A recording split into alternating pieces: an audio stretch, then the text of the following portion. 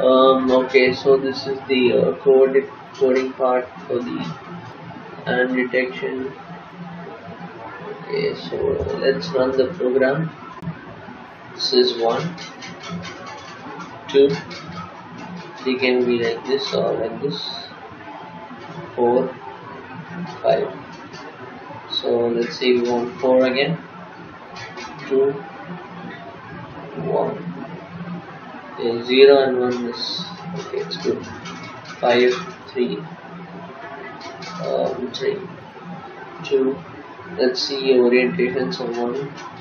This is one.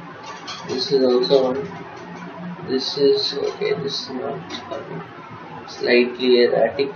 This is not one either. So either this or this can be one.